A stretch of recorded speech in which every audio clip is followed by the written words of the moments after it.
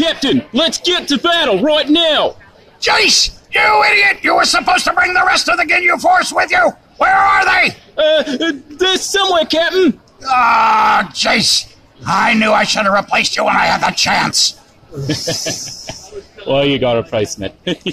I'm talking to Lord Frieza about you right away! Get out of here!